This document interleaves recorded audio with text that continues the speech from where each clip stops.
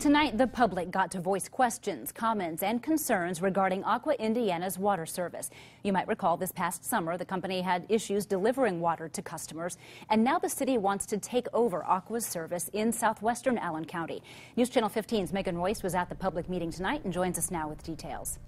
Heather, folks on both sides of the fence attended tonight's city council meeting. Overall, the majority of people there seem to have concerns about the cost and quality of water they're paying for.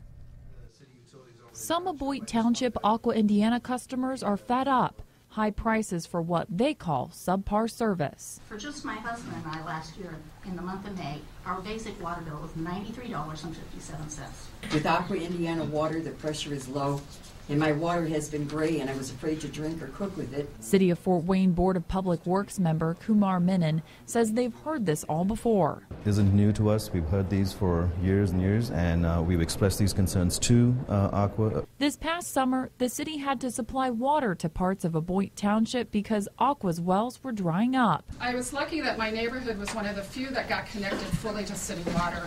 For the first time that I could remember, I had good water pressure in my house. Menon and the president of Aqua Indiana say issues with water out in that area of the city dates back a lot longer than you think. Several other utilities have been in this region before who could not address this problem we believe we can. Some of what you're hearing is, is a remnant of the old days when another company owned the system and not really representative of what Aqua is today. The city of Fort Wayne is in talks right now with Aqua about possibly buying them out and supplying Aboite Township customers with city water. We have the ability to deliver more pressure because we have a larger capacity. We have reserves that we haven't had to touch during the drought.